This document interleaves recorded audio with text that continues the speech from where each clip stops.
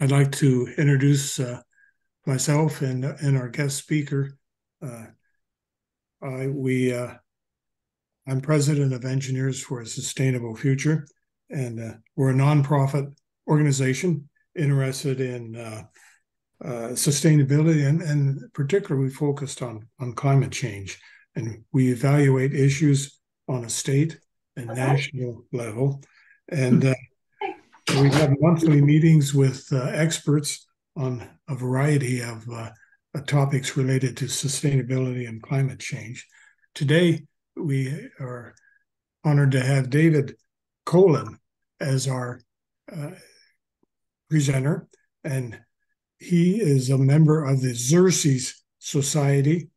Uh, he is involved in community science, and one of the things he mentioned was the he's a uh, for the Pacific Northwest and California. He's a Bumblebee Atlas member, and he writes pollinator focused articles. And I think he'll tell us a little bit about that at the end of the presentation.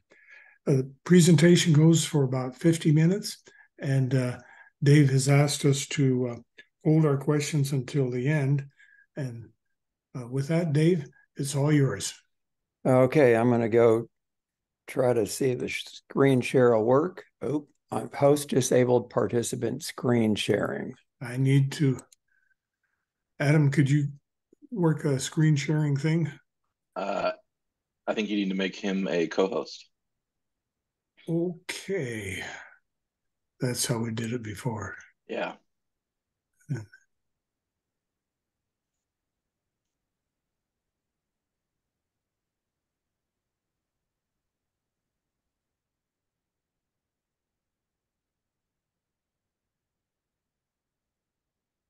You are on. Okay, let's try it again.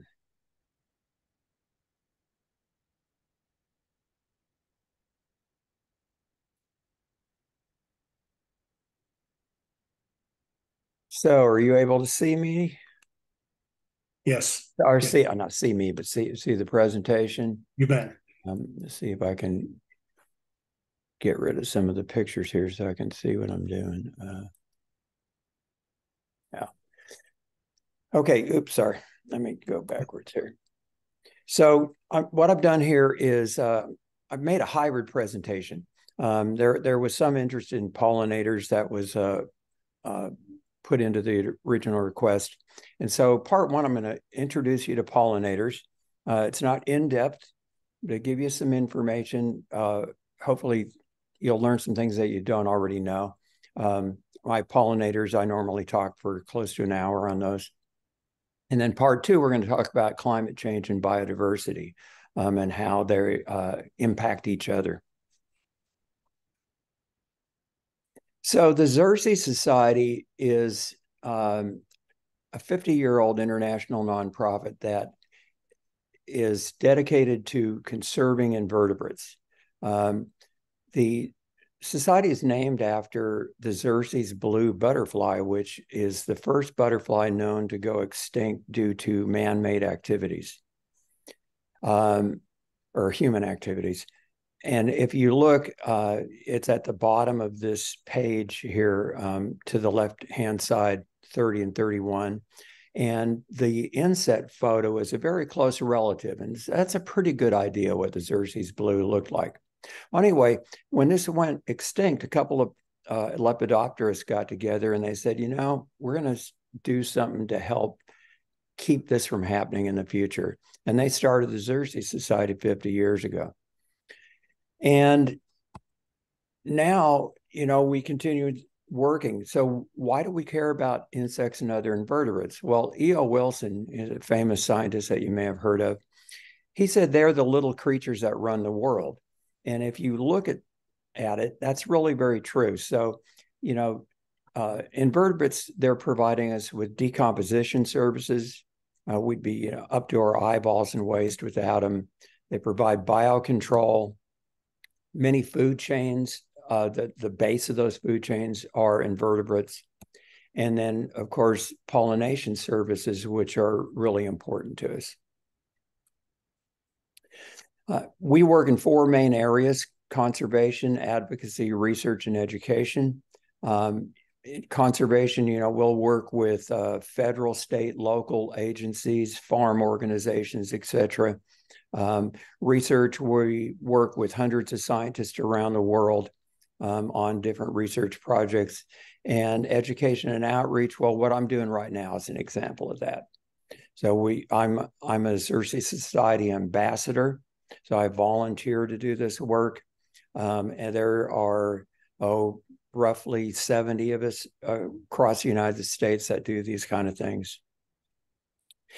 I mean, in the 50 years that we've been around, we've protected and restored over three and a half million acres for insects and other invertebrates. So now I want to talk about pollinators a little bit. Why do we care about pollinators?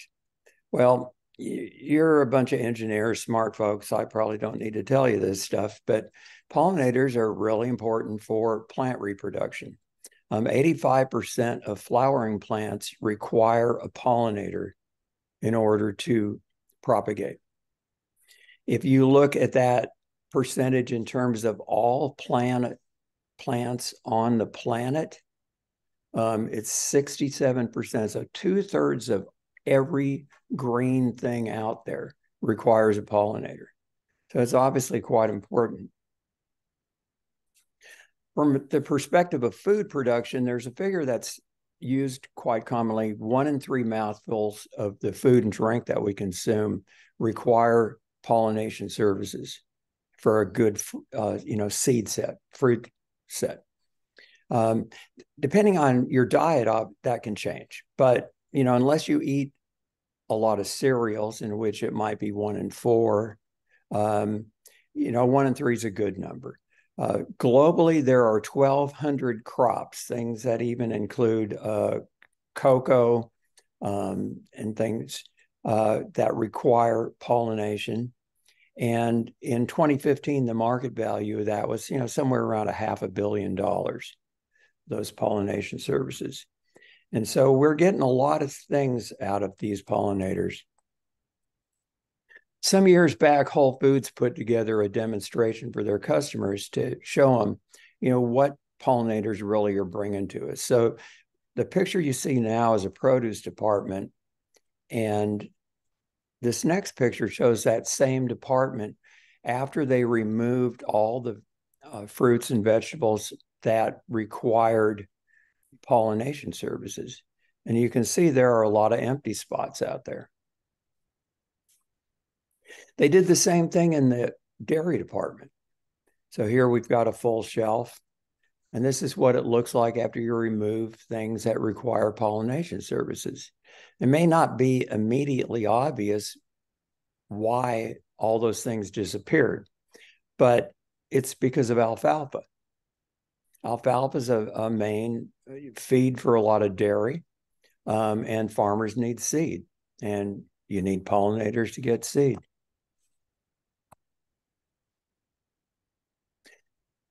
Another thing they do uh, is in terms of supporting other wildlife is if you think about the food webs out there, um, you know they are central to many of these uh, fruits and nuts that are consumed by birds and mammals, small mammals, and things like that. Um, and pollinators, pollinators themselves can become the food. Um, and if you look at this grizzly bear, you might be saying, "Now, what the heck is this thing doing here?" Well, grizzly bears they like consuming something called a miller moth. A miller moth is a little moth it's about a half a calorie worth of moth. And in the fall, they during the daytime, you can find them in big aggregations under rocks and things. So up in Yellowstone, grizzlies, when they're fattening up, they'll overturn these rocks and maybe consume 20,000 moths in a day. And they're putting on 10,000 calories doing that. So it's kind of a surprising thing when I first heard it. And, you know, we get a lot more than that. Um, we get flowers in the springtime. Um, you know, one of my favorite things, pumpkin pie. So th- there's some cultural things that we get out of these pollinators. So I want to talk a little bit about pollinator diversity here. There are six main groups of pollinators. So here we've got butterflies. These are orders of, of uh, insects. Butterflies, moths, a fly, a bee, a wasp, and a beetle. And all of these are pollinators, but bees are by far the most important of these pollinators. And I'll talk about why that is. But the other five groups or orders, I, I call um, accidental pollinators. They're not going after pollen, they're going after nectar. And sometimes they get pollen on them and they carry them to the appropriate plant and they provide some pollination service. Now, before I get into the bees, why they're so important, I want to just, for those that are not aware of this, how do you distinguish between bees and wasps? Because sometimes I'm amazed, you know, someone will say, Come over here, I got bees all over the place and they're coming out of the ground. And I know that that's probably not a bee and it's a yellow jacket or something like that. So bees are hairier. If you look on the left, and the females will have some kind of a pollen carrying structure usually. Typically, it's on the hind leg. And if you look closely, you'll see that they're packed with pollen. Um, wasps, on the other hand, um, they don't have much hair on them. Very angular looking. Um, if you compare the legs, they look like they've got little chicken legs compared to a bee. They hold their wings out differently, as you can see. Bees, it's over the back when they're at rest, and the wasps are in a V shape typically. How about a bee versus a fly? So you're probably thinking, well, anyone knows what a housefly looks like. I'm not going to get that mixed up with a bee. Well, I'm going to tell you there's some flies out there, for instance, that look almost identical to a bumblebee. And the only way you know whether you have a fly is you got to catch it in a net and look at it closely. So, bee, bees and flies, the easiest way to distinguish them is if you can get a good look at the head, a fly will have really short antenna on it. Bees have a long antenna, typically with a little elbow. Again, you might see a pollen carrying structure on females. Um, flies have got really huge eyes that almost meet at the top of the head. Um, and bees, not so much, and bees are more on the side. So those are some kind of giveaway things. Now I want to get on to this why are bees so important? Well, they've got three behaviors that these other pollinators groups don't have. Number one, they're collecting and transporting pollen. If you remember, I said the others are out there nectaring and they're accidentally getting pollen. Bees use pollen to feed their larvae. So, in raising their young, they are using pollen. So, they're out there, they are collecting and transporting pollen. They're not accidentally getting it, they're going for it. They're central area foragers, which mean they forage in the area around their nest. And the other thing is that typically they exhibit something called flower constancy. And what this means is that when a bee is out on a foraging bout, if there are enough of the same species of flower, they will tend to stick with one species of flower on a given foraging bout. So when I talk about a foraging bout, I'm talking about they're leaving their nest, they're going out to collect however much pollen they can carry, and then they're going back. Um, it's not strict, you know, so there is some deviation. But this constancy is something that is obvious enough that Aristotle talked about it and wrote about it in the fourth century BC with respect to honeybees. I want to just explain how bees actually carry this pollen. Um, for something called like a bumblebee, they we refer to these as corbiculate bees. They've got a pollen carrying structure on their hind leg. They've got a flat spot, kind of equivalent to where our thigh is, that has hairs all the way around the outside of the flat spot. And that allows them to go and take moistened pollen and pack it down in there. And so they call that a pollen basket. And this picture shows you how much pollen they can actually carry. That's that pollen lump is much wider than their leg is. Most bees transport pollen dry. Um, the most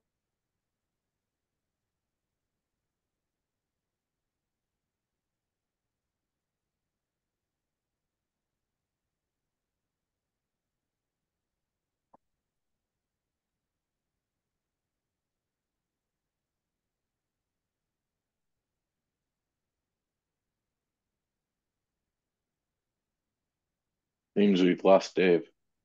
And if you're if you oh. really pay attention, you see one of these, you'll you'll see them walk across a flower and tap their bottom down on the flower to get pollen to stick up in these hairs. And then after they've got a load like that, they'll hold that, that up so that it doesn't brush off accidentally. Most people, if you say bees, this is what they think of honeybees. Honeybees are not typical. They're highly social. You, most of you probably know this. They're very complex social animals. Um, they live in large col- colonies. Uh, t- they can be tens of thousands of individuals in a colony. And they're not native. So they were brought over with the early colonists to provide beeswax and honey. Beeswax was actually the most important. So they're not native. Uh, and the other thing is they're a perennial, so colonies can last for years. Um, and so they're not native, and we're not going to talk about them because, well, um, we deal with native bees. I will say, though, I want to recognize that they're extremely important for agricultural reasons. Um, and so I'm not kind of giving them short shrift here by not talking about them, but Xerces does focus on natives. If you look at our native bees, 90% of them live solitary life cycles. So, unlike social bees, like bumblebees or honeybees, um, 90% of them are, are single in the, in the sense that a female creating a nest is working on her own. They're very gentle. They're unlikely to sting. Um, if you slowly approach a bee with your finger and you try to just touch it, it'll probably fly away. But if you do touch it, it will definitely fly away. And it's not going to turn around and try to sting you because it, that just doesn't work for them. They're not protecting anything like social bees are.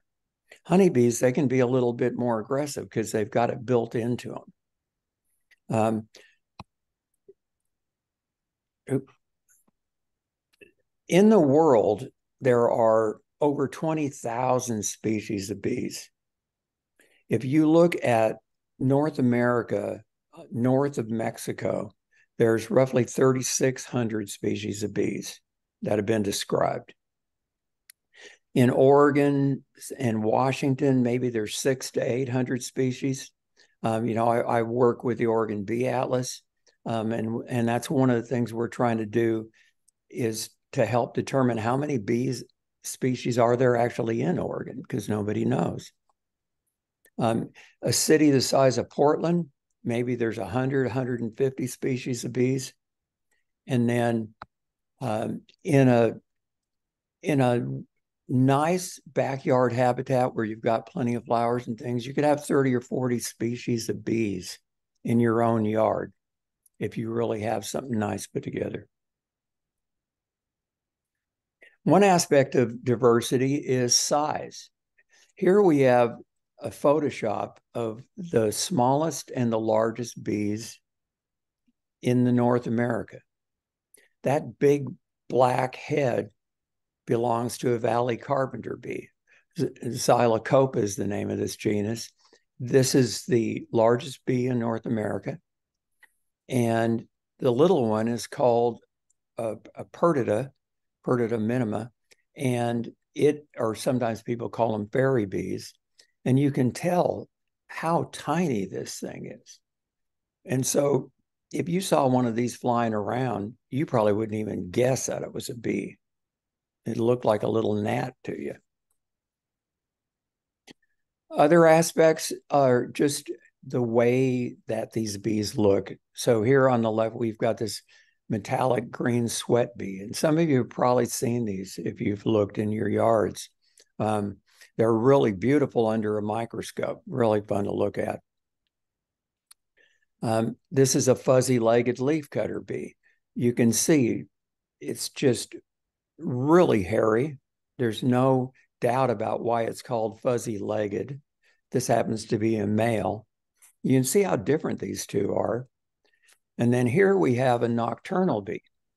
And if those bee, if those eyes look like they're kind of on the large size, well, they are. Uh, this bee has evolved to be able to uh, forage under very low light conditions. The eyes on this are 30 times more sensitive to light than normal bees are. And so if there's a, a bright moonlit night, these bees can actually go out looking for flowers and continue foraging. And then finally, here we have a cuckoo bee. And for any of you that know about cuckoo birds and how they parasitize nests, um, cuckoo bees do much the same thing in the bee world. Um, and I don't really have time right now. I, I don't want to get sidetracked and start talking, but if anyone wants to know more, then please ask me a question when we get to the end of the presentation. I want to talk a little bit about the natural history of native bees. So when biologists use the term natural history, what they mean is, you know, how, how do they make a living? How are they surviving out there? What we have here is a typical solitary bee life cycle. Um, there's a lot of variations on this, but you know th this is pretty good uh, for showing things. This female bee here is a mining bee, and she's going to live about three weeks. That's it, as an adult. Um, she's going to work her tail off um, and basically work herself to death over those three weeks. And she's going to provision maybe uh, one cell, one brood cell per day on average. I mean, if you look on the right, you see a cutaway of what a mining bee nest might look like. Well, does look like. Um, and that ball that's orangey yellow is a pollen ball. Sometimes people call that bee bread. And it's going to take her maybe four or five trips in order to gather enough pollen to make that ball. And when she's done, she's going to go lay an egg on it. She's going to close off that nest entrance. And over a period of, oh, you know, roughly two months or so, that egg will hatch. It'll go through various larval stages and end up in what's called a prepupa. Um, and will stay in a cocoon underground for somewhere around eight to nine months. And then the next year, the cycle is going to start out all over again. These ground nesting bees are roughly 70% of our bee species. So the majority of our bees nest in the ground. Um, they look like ant nests um, from above. And a lot of times they are they will nest in aggregations like this. Um, and so one question I like to ask people when I'm, you know, out is, you know, how do you tell the difference between an ant nest and a, and a bee nest if, if you come up on one of these things, right? And so, well, the answer is you stand there for a minute, and if you don't see any ants, then it's probably a bee nest. Um, you know, ants are really active and, you know, you don't have to stay there long to see a few of them. Bees, you know, they're out for maybe 15 minutes at a time, 20 minutes. And when they come back, they don't like to make a show of it. They hit that hole and they're down inside. And unless you happen to be looking at just the right moment, you won't see the female enter or exit. And you won't know that it's an active nest. On the right, we see a couple of examples of some of the structures, what what these things look like architecturally underground. And this is just, you know, these are just a couple of the many different variations there are across species of ground nesting bees. Um, the other 30% of our bees are tunnel nesters. Um, the the ground nesters, they actually dig and excavate their nests. Tunnel nesters, they like to find either an existing tunnel, maybe something that was created by a, a, a beetle larvae, or they can sometimes excavate the center of a soft stem that's been cut off, that's open to them. So they'll uh, excavate out the pith of that stem and they'll create a series of brood cells. And you can see that in the above photo. And after they provision, the, you know, the, the innermost cell, they, they provision that with a ball of pollen. And then they build a partition and they start the next one. And they lay an egg, obviously, before they partition. And they start the next one and they they work their way out. Um, some bees, the the the leaf cutter that I mentioned earlier, they like to line their nest with pieces of leaf or flower petal. And these are not haphazard pieces. They can be 25, 30 different pieces, and they're cut precisely to a size and shape that the bee needs. And I've seen some cutaway photos of some, some of these, and it's just amazing how they are putting these together. Um, so there's a, a tremendous amount of work that goes into this. If you look at the variations in nest materials, when we've talked about leaf pieces, uh, there are some species that use pebbles and plant resins, like this dianthidium uh, here. Um, mason bees, I'm sure most of you heard of mason bees. Um, they use soil. And so when they're plugging up their nest, their tunnel nest at the end, um, they cap it off with soil. And then finally, there's even some species of bees that use plant hairs. So if you ever seen um, what they call it lamb's ear, um, it's got this kind of velvety leaf on it. These bees will go in and they'll bite those, scrape them off, and this ball here that looks like a, a wad of cotton. Uh, I don't know if you can see there's a little white mark below that that's a one millimeter. So this is maybe a centimeter in diameter. Um, and that's been pulled out of an existing tunnel space. And in the dark area in the center is where she's got her, where she'll lay her eggs and put her pollen.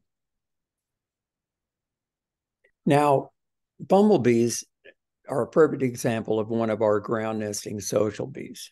Um, uh, and their life cycle uh, is also annual, like solitary bees. Um, most bumblebees hibernate over the winter. Um, they're they'll dig in under leaves and things like that, and that's why Xerces recommends um, in the fall if you can leave some areas of leaves on your property, um, that's good because that provides a place for hibernating bumblebees.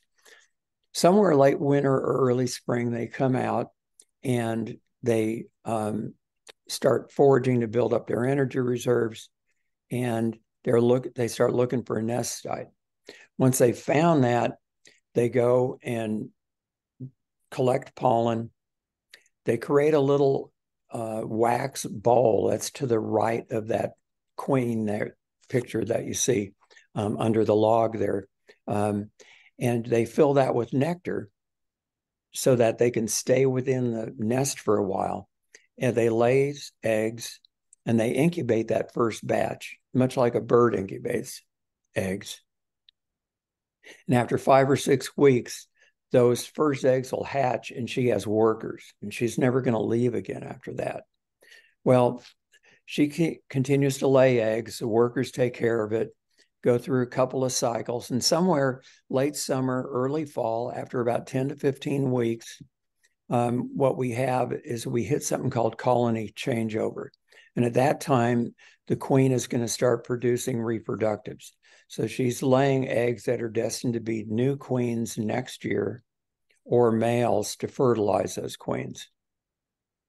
Well, hopefully, queens from other nests, so they're not interbreeding. Um, and after that, the uh, queens, the new queens, they call them gynes, actually will go and find a place to hibernate, and the males will die off after the flowers are gone or the temperatures get cold enough. And then the cycle repeats. Bumblebees, they like areas kind of like this photo here. Um, they love to use existing rodent dens. So uh, a mouse or a gopher den, they'll have some insulation in it, and they like uh, their entrance holes to be hidden. They don't want anyone. I say anyone, I'm not talking about people, but they don't want anything seeing them go down um, and possibly cause problems for them later.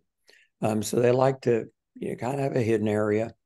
Um, on the right, you see a photo of one of the few species that actually lit um, nest above ground, and this is in a tussock of grass um, that's providing some cover for them. And then finally, um, flowers is a very important thing. And I talked about, you know, pollinators, nectaring, um, and bees being more also being there for pollen. Um, one thing that's important to note is that bees fall into these categories. Um, we have generalist, which can take pollen from nearly anything, and and we've got specialist bees, which maybe can only uh, take pollen from uh, a few species of plants. And in extreme situations, there are cases where a bee will only use pollen from one species of plant. So these are highly specialist bees. And that's going to come up later in the presentation, which is why I'm bringing this up now. And so before I get off pollinators, I just want to point out that uh, there's a new a license plate out there that you can get in Oregon, Pollinator Paradise. Um, should you uh, want to do something like get one of these plates, some of the proceeds from that license plate support uh, ongoing bee research down at OSU. So now we're going to go and switch over to part two of this um, climate change and biodiversity. How, how are these things mixed, or how do these things interact with each other? So, um, we have to address climate change because that's one of the problems with the um, decrease in biodiversity that we're seeing. Um, and then on the other hand, when we start to look into the science behind things, we see that we can use biodiversity to mitigate and adapt to some of the problems that we're having with climate change. And so, you know, mitigation, we're working to reduce the causes, right? And adaptation, well, we're adapting to things that have already happened. So if we look at insects um, as kind of a uh, an indicator for overall biodiversity, um, that'll tell us a lot about what's going on. Um, over half of all the described species are in fact insects on this planet. So what's happening to insects is is going to have a big impact on what's happening to biodiversity in general. How do you know that we're having declines in insects? Well, actually, Mike brought this up in an email. Um, it's the windshield effect, right? Uh, I remember, you know, when I was in my 20s driving across country or something, and you'd be lucky if you could get through the day without having to pull over somewhere and you know scrape all the bug guts off the windshield right um, and now you can go all day long and you hardly have any insects in some areas so there's definitely something happening um, international union for conservation in nature they've done comprehensive assessments of 14000 uh, species um, in actually uh, groups in the Americas, so that's North and South America. And they determined that a quarter of these, 25%, are at high risk of extinction. So we're not talking about, you know, they're threatened or they might have a problem. We're talking about high risk of extinction here. Um, and, you know, in the world, I, I should have said, you know, across the world, there's been a lot of studies here. These are uh, just an example of some of the individual studies and what was found. Sorry, I missed that the first time through. Um, but just to show you that this isn't just something happening in the United States and Europe, it's everywhere where we're really looking. Um, so, what are some of the causes? Well, there are a number of them. Um, the most, and there's actually more than what's listed here. But um, right now, pesticides and habitat loss are, in general, the two largest. Not necessarily in every place, but these are the real drivers of insect decline going on right now.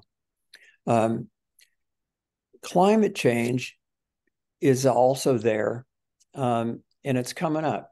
And, you know, I think over the next 10, personally, I think over the next 10, 20 years, you know, it's going to overtake and be probably a number two because a lot of work's being done on pesticides now to try to get um, better ways to manage uh, pest climate change, as we know, well, you know, things seem to just be getting worse. We're not really trending anything downwards.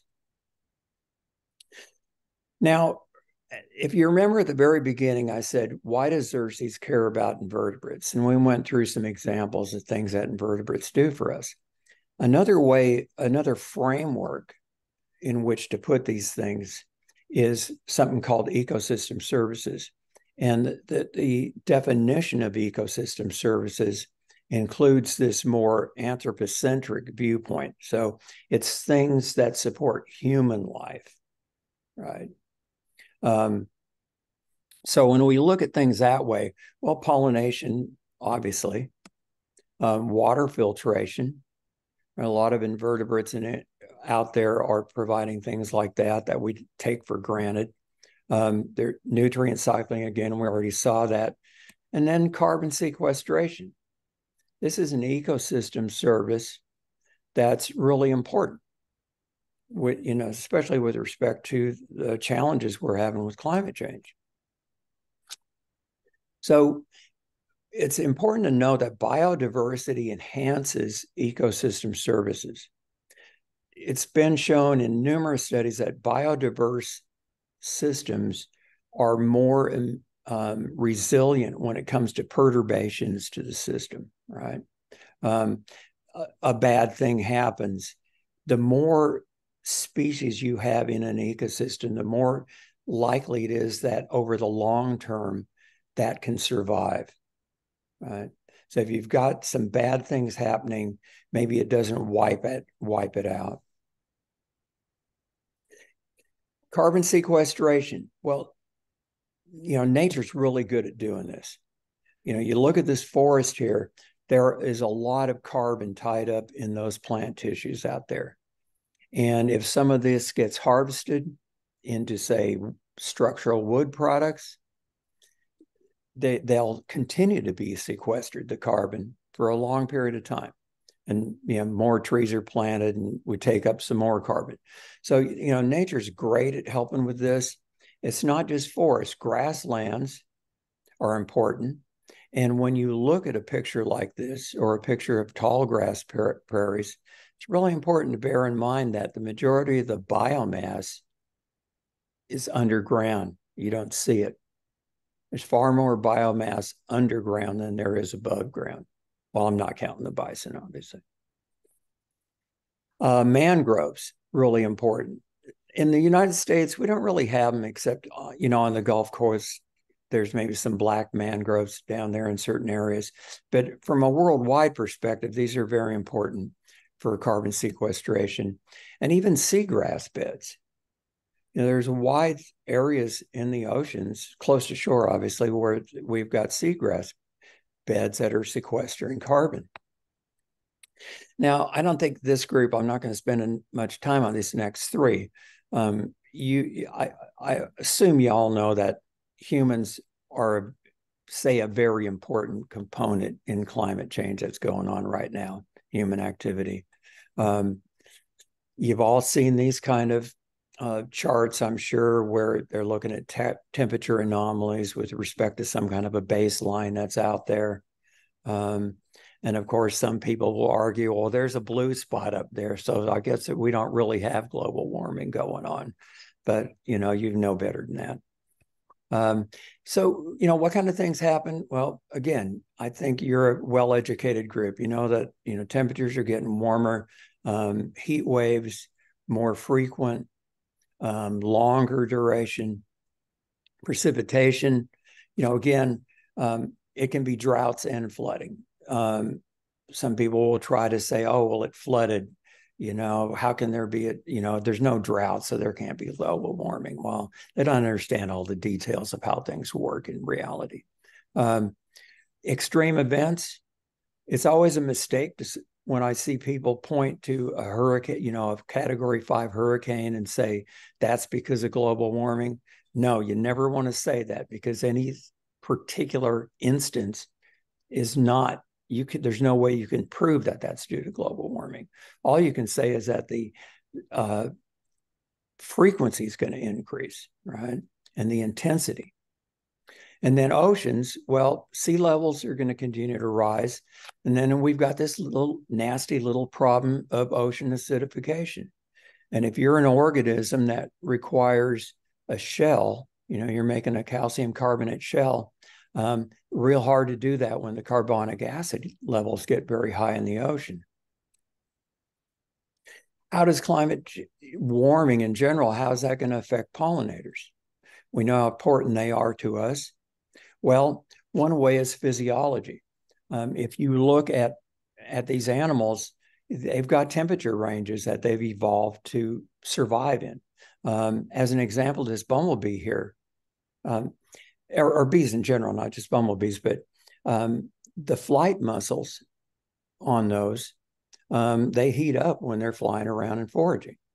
And so um, when those tissues get to somewhere around 43 degrees centigrade, they can have permanent damage to those muscle tissues.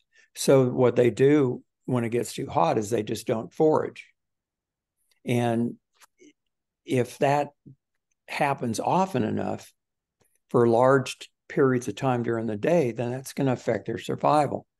Um, phenology, I'm going to talk about that separately, but so I, am going to kind of skip this. Um, can, shifts. Um, if you need to move somewhere cooler, what are your choices? Well, in the northern hemisphere, you can move north generally, um, or you can go up. Well, the problem with that is you can only go so far north and you can only go so far up.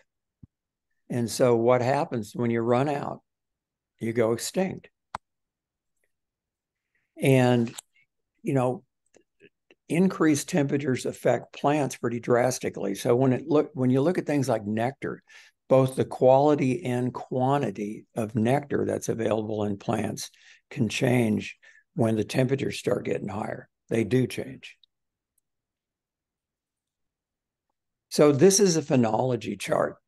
And what we see here is we're looking at how things occur through the calendar year.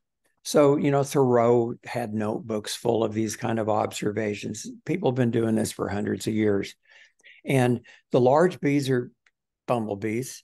And if you look on the left hand side, you can see that the flower colors that are suitable for bumblebees. Bumblebees are generalist bees.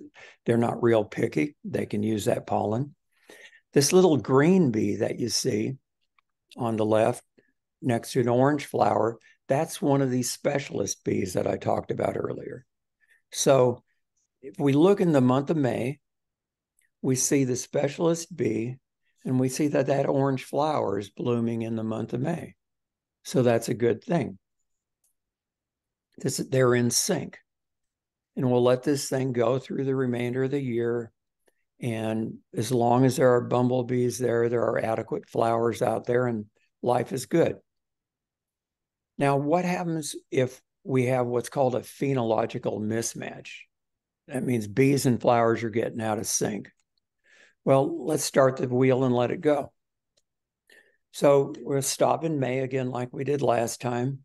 Uh, if you look closely, you'll see January we had a flower bloom that didn't bloom previously. No harm harm in that. Um, bumblebees had forage when they needed it, but where's our little green? Uh, okay, here's our little specialist bee. Now, it should be obvious that we have a problem here. The problem is that orange flower. When did it bloom? It bloomed in April. Now the bee's out in May. It's a specialist. It can't use the yellow or the red flowers. So what's going to happen?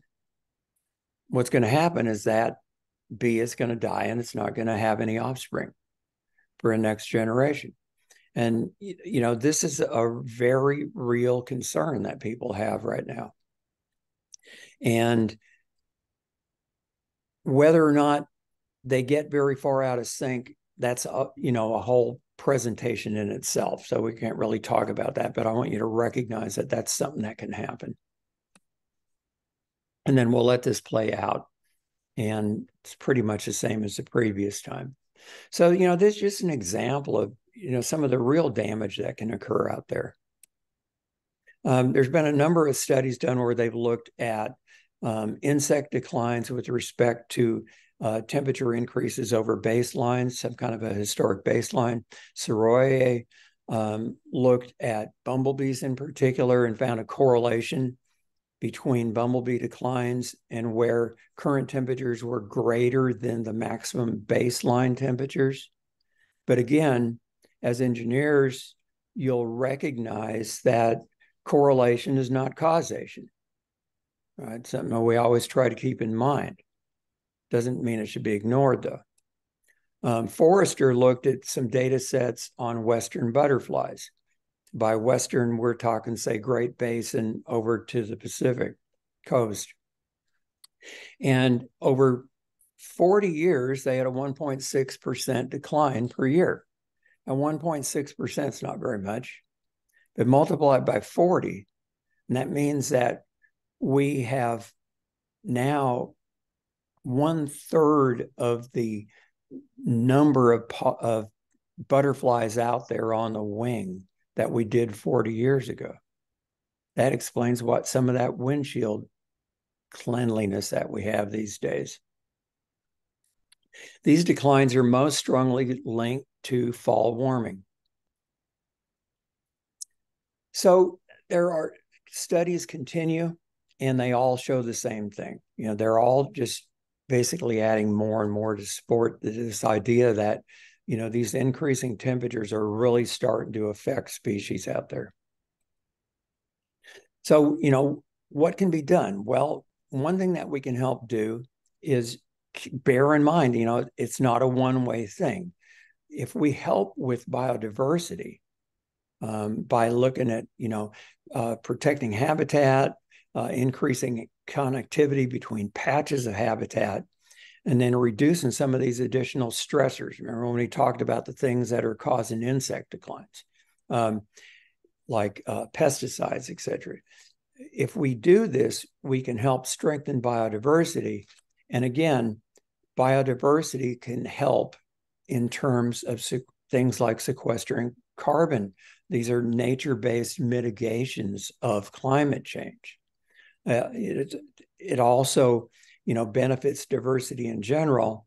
And remember these other ecosystem services that we get. So, you know, biodiversity, like I said earlier, biodiversity enhances the strength or you know the the function of these ecosystem services.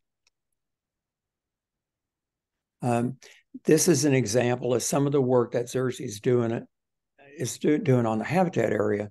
Um, say with something like uh, USDA's got a natural resources conservation services group. We've got partner bio all we've got Xerces staff that are partner biologists with NRCS, and we'll work with say farm groups is like you see here in this picture to increase the biodiversity in those properties, um, introduce climate smart plants. This hedgerow here is really one of these corridors where you're able to create connectivity between maybe existing patches of natural areas. Um, and of course, you're getting some additional carbon sequestration here. Um, just in general, when we're doing habitat work, we, we want to make sure that we're putting as much biodiversity out there as we can. When you look at an ecosystem, when you measure the richness of an ecosystem, you do that by looking at the number of species interactions there are. And so the more species you have out there, whether those happen to be insects or invertebrates or plants, the more species, the more in species interactions you get. And that will lead to an increased resilience in that ecosystem. Now, we can even help at home ourselves. Um, I'm going to not go into any detail here because I'm going to show you some resources in just a second. But, um, you know, if you're doing gardening and and things like that to maybe do some pollinator enhancement in your area. Um, you want to use a lot of natives, uh, pesticides, get rid of them, stop using them. And if if gardening is something that you're at all interested in doing, um, go to xerces.org.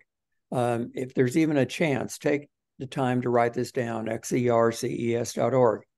Once you go on that website, there's a resources section up there. And if you click on that, go to the drop down, there's a pollinator conservation resource center. And down below that, you can see Pacific Northwest region. And if you click on any of those bluish colored bars there, um, what you're going to get is just a number of different things that you can download freely um, and either just read it on your computer or you can print it out and all kinds of different topics.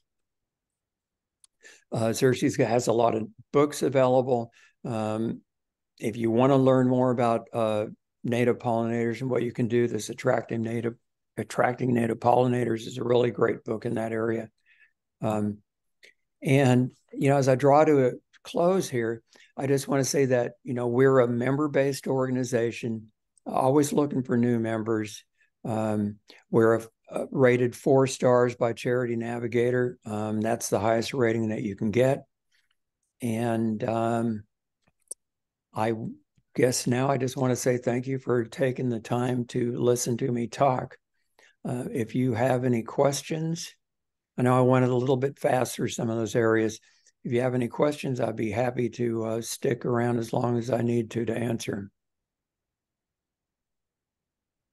Well, thank you, Dave. Uh, and I know that I especially appreciate your cus- customizing the uh, your presentation for a bunch of engineers here. So that's that's much appreciated. Is there anyone that has a question that uh, I'd really like to ask?